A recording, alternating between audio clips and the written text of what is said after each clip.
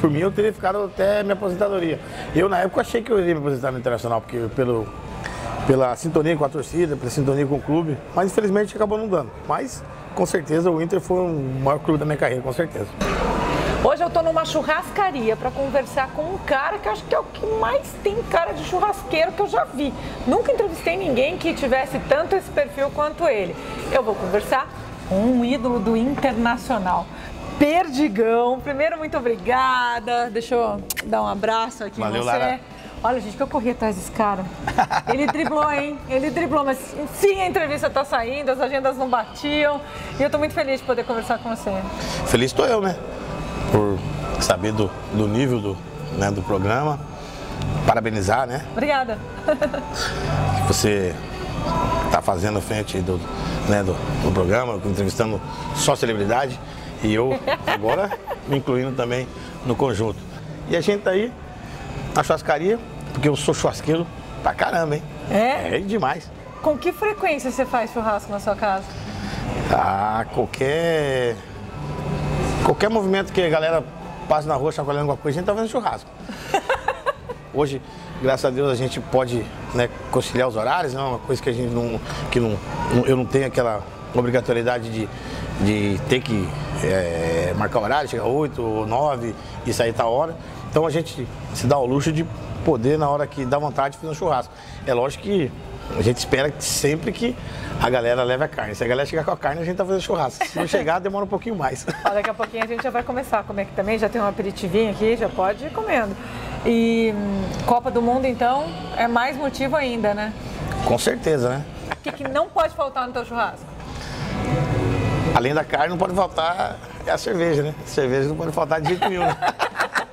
Você é do tipo que quando vem em churrascaria come salada também ou não? É carne e pronto, churrascaria para comer carne. Ah, eu, eu coloco um pouquinho de, do verde ali pra. Aquela, aquela, aquela que casa um pouquinho com a carne, entendeu? Mas eu gosto mais de pegar cebolinho, o vinagrete e mais a carne mesmo. Você- A salada, eu comi salada praticamente minha carreira toda. Não era fácil, não. Eu comi um quilo de alface e engordava dois quilos. pô. Era brincadeira, pra... Vamos falar disso daqui a pouco? É. Vamos então a gente aproveitar e já ir lá se servir? Bora, vamos lá. Vamos começar? Bora lá, vamos com tudo. Então vamos.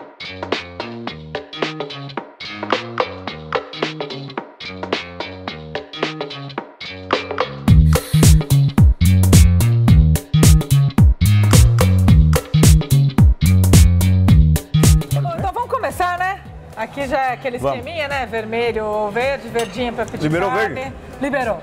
Liberou. e liberou pra falar de futebol também. Vamos falar também de, de futebol.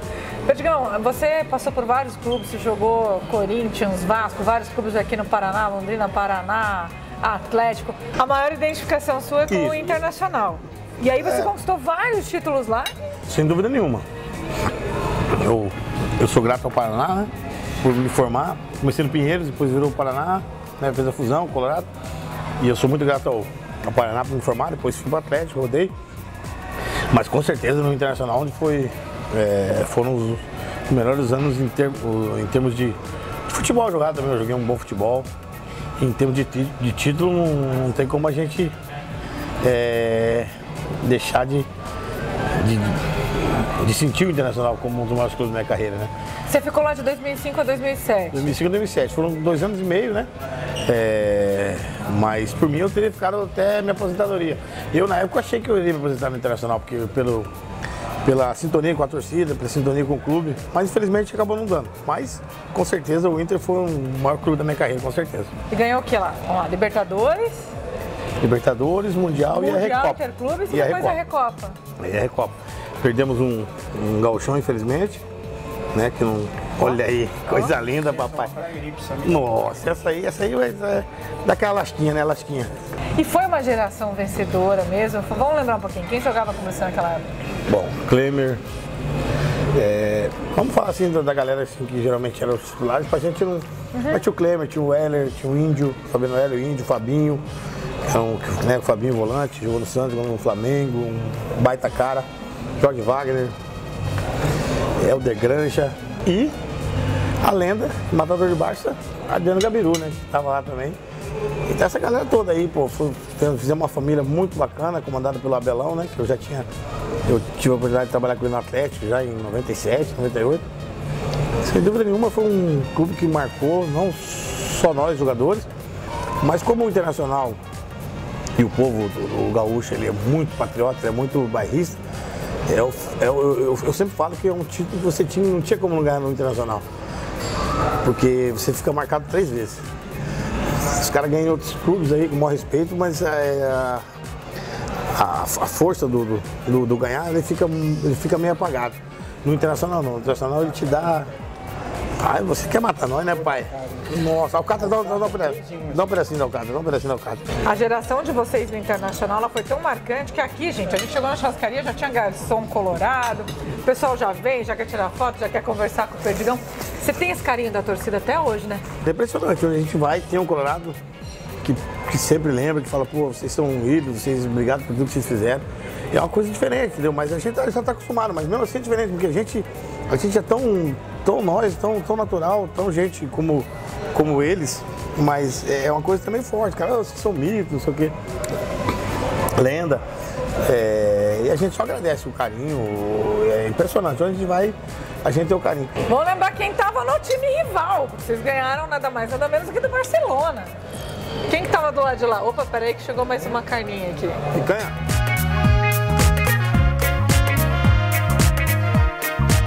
Era o, o Vitor Valdez no gol, né? O, é, Rafa Marques. Chave. Thiago Mota, Chave, Iniesta, Ronaldinho, Deco, Gu Johnson, Belete, que entrou depois.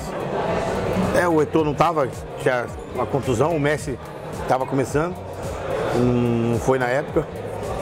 É, aconteceu, acho que surgiu uma contusão para ele, não foi também, então ele pipocou pro nosso Colorado, né? Sabia que nós ia atropelar os manãs. E aí vocês chegam e levam o título com um gol do Gabiru. Gol do meu parceiro, meu irmão, matador de Barça, Adriano Gabiru. Do jogo, um jogo bem, muito truncado, foi aquele jogo muito, muito, muito bonito de se ver. Mas, na hora que o Gabiru entrou, a lenda matador de Barça, impressionante, é, como é que fala? Ele teve ah, estrela, né, Perdido? E ele sempre teve, sempre foi um cara que teve estrela. Impressionante como ele foi sempre um cara decisivo. E sempre que a gente está no Rio Grande do Sul ou encontra algum colado, a gente sempre é lembrado e o povo sempre toca nesse assunto do Mundial, que é onde os caras se seguram, né? O, os azulzinhos estão bem hoje, né? Estão por cima da carne seca, mas é onde os coroados conseguem segurar, né? Você foi campeão mundial FIFA, eles têm essa, essa rixa deles, né? Você vai me contar agora. Quantos quilos você ganhou desde que você parou de jogar? De jogar? Ah, tá de brincadeira, né? Quer que eu fale? eu tenho que perguntar, ué. Ah. Eu falo. Hum. Uns 20 quilos pra mais. É mesmo? É. Mas é o que? É do parar de queimar como na quantidade que você queimava que eu é, antes. É, né? mas eu sempre tive. Ou você come mais do que você comia naquela época? Porque daí também tem nutricionista acompanhando, o pessoal é, pegando no pé. É um pouco de cada coisa, né? Aham. Uhum. É um pouco de cada coisa. Eu, eu gosto de comer. Mas tá de boa, né, Pedigão? Tá feliz, o importante é isso, né? Eu falei pra você. Feliz eu sempre fui. Falando um pouquinho de Copa do Mundo agora. É. E aí, da Brasil? O Tite, ele, ele foi o cara que tipo, resgatou né, todo esse sentimento de novo do, do povo brasileiro de, de gostar de novo da seleção, né? Pela simplicidade dele, pela metodologia, pelo caráter dele, que, né, que a gente sabe que sempre foi um cara muito profissional e coerência, esse negócio tudo. Mas eu, eu como ex-atleta, eu vejo o seguinte, ele fez tudo certinho até agora. Agora, na Copa, ele vai ter que ser um pouco mais ousado. No Adenor é o seguinte, Adenor é que ele, pra você ganhar a Copa do Mundo, você tem que meio que. É, tipo, tem que tirar um coelhinho da cartola de vez em quando. Você pensa numa coisa, às vezes quando não tá dando certo, você tem que ser. Como é que fala? Tem que ser cirúrgico para entender e fazer a mexida, que é muito rápido, né? Sete jogos espaço curto e é uma coisa que, que te traga um, fato novo. É ele vai ter que usar mais do que nunca da sua experiência, da sua qualidade como treinador, do seu, conhecimento, para de repente até sem mexer uma peça, você mudar algum posicionamento, alguma coisa, Que é isso que se, que se, que se mostra o treinador capacidade, entendeu? É, vai ser uma Copa meio que sofrida, eu acho. Como, como foi todas, foram todas, né? não teve Copa. Não tem almoço grátis. É, é verdade, não tem almoço grátis. Vai ser uma Copa sofrida, é, visto aí pelo que os irmãos estão passando. Se eles classificarem na última aí, a gente conhece como é que são esses vizinhos, né? Eles vêm com tudo. Então, os vizinhos descansam e o Brasil vai para as cabeças e o Hexa vem com certeza. Muito bem, muito bom. Perdigão. Pô, show de bola, né? Show de bola. Obrigado, né, pela moral. Acabou? Quer falar mais? Não, não, ah, não, não, então, não, beleza. Pode saber que aqui você tem um amigo. E, né? É nóis. Sabendo que você está voltando para nossa capital agora, né? É, parabéns pelo programa, né? Pela Fome de Bola, que com certeza vai, vai bombar. É, o que depender da gente, estamos aí. E precisar do Perdiga, da galera aí do futebol, com certeza a gente vai te receber de braços abertos. Fala suas redes sociais. Perdiga Underline Oficial. Instagram. E vocês podem procurar os bastidores dessa entrevista também lá no canal Fome de Bola. A gente está também no Facebook, programa Fome de Bola. Ah. E vocês podem me procurar no Twitter e no Instagram, arroba Laramoto. Mais uma picanha? Vamos botar. Vamos aí? Valeu, gente. Obrigada. Tropel, malandro. Valeu, galera. Fome de bola.